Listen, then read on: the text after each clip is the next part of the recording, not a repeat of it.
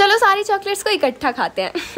Just kidding वैसे पता है, बचपन से मेरा सपना था कि मैं इन्हें मिक्स करके खा के देखूँ, कैसा टेस्ट आएगा? क्योंकि पता है, एक बार क्या हुआ, मेरा भाई ना, मैं डेरी मिल्क की चॉकलेट खा रही थी एंड वो फाइव स्टार की लेके आया। मेरे मुँह में डेरी मिल्क की थी चॉकलेट एंड उसने मुझसे वो छीनी और फाइव स्टार की मेरे को खिला दी। एंड पता है, उसका टेस्ट काफ़ी ज़्यादा यमी लगा। तो मेरे को था कि मेरे को एक बार तो ट्राई करना है, सारी चॉकलेट्स को मिक्स करके खाना देखना है, कैसी होगी।